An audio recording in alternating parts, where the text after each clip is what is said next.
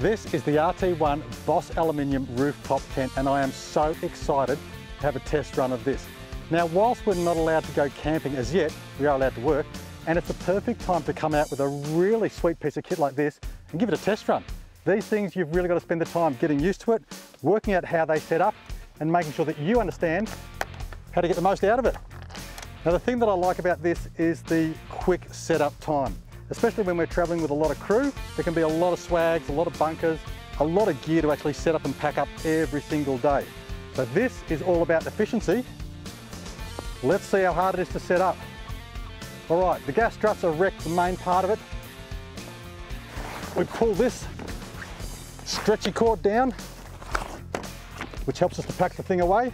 And we want to pull these arms out which are going to help with our awning.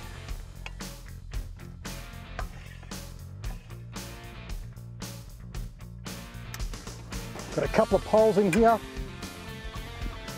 These arms will clip into there. We'll actually put them through the corner here first. Nice little eyelet there for it. Stand it up, clip it in, one on each side.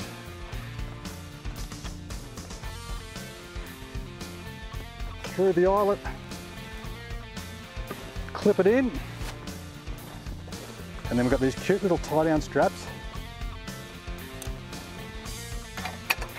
Quick hook on there, pull that down to tighten it up.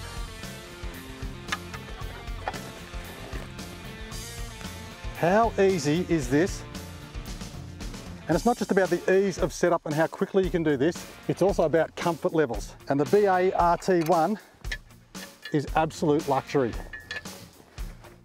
Tighten that down.